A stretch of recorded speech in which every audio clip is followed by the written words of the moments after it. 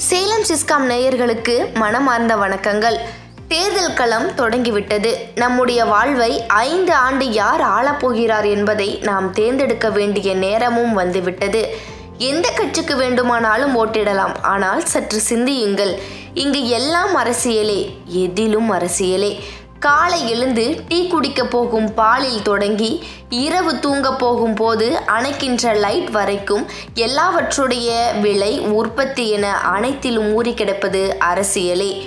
ஒருவேளை சமைக்க போகின்ற காய்கறிக்கு பேரம் பேசுகின்றோம். மூன்று மணி நேரம் கட்டி கலற்றி போடுகின்ற புடவைக்கு பேரம் பேசுகிறோம். ஏன் இதிலும் அரசியல் ஊறி கிடைக்கிறது? ஆனால் பள்ளி கல்லூரிகளில் மட்டும் சொன்ன ஃபீஸை கரெக்டாக கட்டுகிறோம். அந்த நாட்கள் தவறிவிட்டால் வட்டியோடு சேர்த்தும் கட்டிவிட்டு வருகின்றோம். ஏனென்றால் இதிலும் அரசியல் ஊறி கிடைக்கிறது. அரசியல் இல்லாமல் இங்கு எதுவும் இல்லை. யார் நாட்டை ஆள தகுதியானவர்கள் என்பதை நீங்கள் முடிவெடுங்கள். உங்களுக்கு முடிவெடுக்க தெரியவில்லை என்றால் உங்களுடைய குடும்பத்தில் படித்த பிள்ளைகளிடம் அமர்ந்து கேளுங்கள். எனவே குடும்பத்துடன் பேசி யார் நம்மை ஆளப்போகிறார் என்பதை சரியாக தேர்ந்தெடுத்து அதில் உறுதியாக இருங்கள். ஆண் பெண் என பாகுபாடின்றி அனைவரும் ஓட்டிடுங்கள். சாதி மதம் பாகுபாடின்றி அனைவரும் ஓட்டிடுங்கள். அது மட்டுமன்றி பெண்களே உங்களுடைய வாக்கு என்பது மிக முக்கியம்.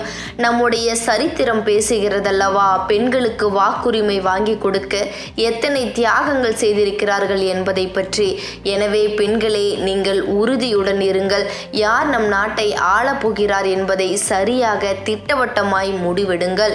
இனியாவது விழிப்புடன் இருங்கள் மக்களே. நமக்கான தலைவனை நாமே உருவாக்குவோம். சேலம் சிஸ்காம் நேயர்களுக்கு சேலம் சிஸ்காம் சேனல் மூலம் ஒரு அன்பு கோரிக்கை. ஓட்டிடும் போது அனைவரும் இடைவெளியை கடைபிடியுங்கள். ஓட்டு போடுவதற்கு முன்னும் ஓட்டு போட்ட பிறகும் சோப்பினால் கை கழுவுங்கள்.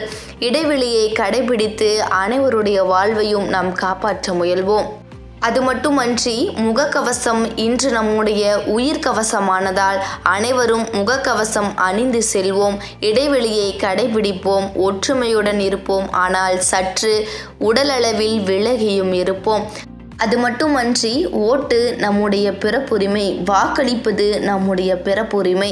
எனவே காசுக்கு நம்முடைய ஓட்டை விற்றுவிடாமல் கண்ணியத்துடன் இருப்போம். இத்தகைய விழிப்புணர்வுள்ள இந்த வீடியோவை உங்களுடைய நண்பர்களுக்கும் ஷேர் செய்யுங்கள் மற்றும் இந்நாட்டிற்கு விழிப்புணர்வை ஏற்படுத்த உதவி செய்யுங்கள். சப்ஸ்கிரைப் பண்ணாதவங்க சப்ஸ்கிரைப் பண்ணுங்க. மறக்காம பெல் பட்டனை கிளிக் பண்ணுங்க.